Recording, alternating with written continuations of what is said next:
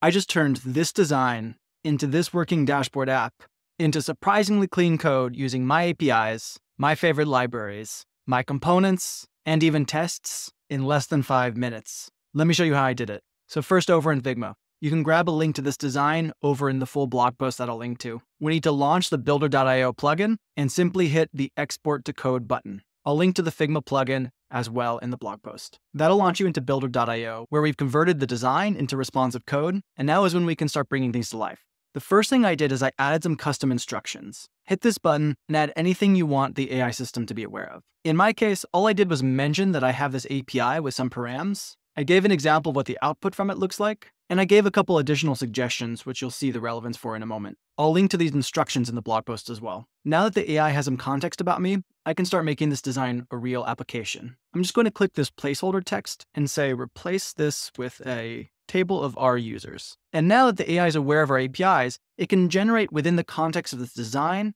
reusing the data and APIs that it knows exist. By default, the AI will replicate the styles and patterns that it sees, and if you integrate components from your codebase, it'll actually reuse those as well. This table looks pretty good, so I'll accept it, and I can visually modify it as well. For example, I might want to go to the Style tab and set the width to fill, and then maybe shrink up this spacing as well. Everything is fully visually and responsively editable. Now I have a table connected to real data, but there's other buttons here that don't work. For example, I have these sort by buttons. Now I'll do my favorite prompts. I'm just going to click those buttons and say, make these buttons work.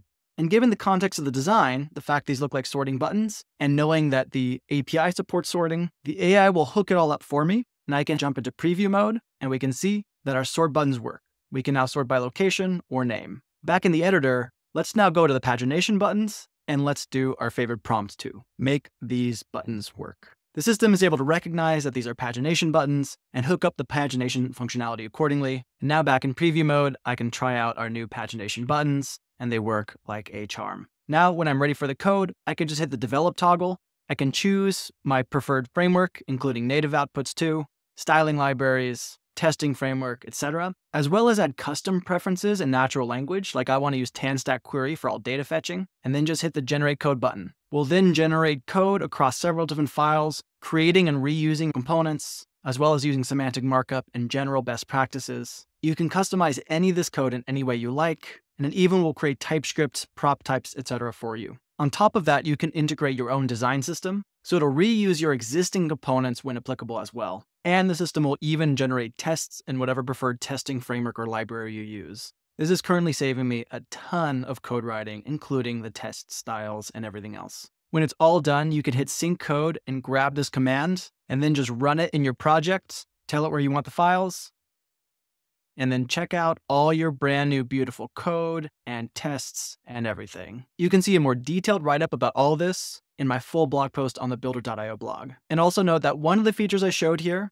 the AI chat to modify the design, is currently part of a rolling beta. And not everyone has access just yet. If you don't, you can go to the blog post and sign up to be notified when access to your account has been granted. Can't wait to see all the amazing stuff you build with this.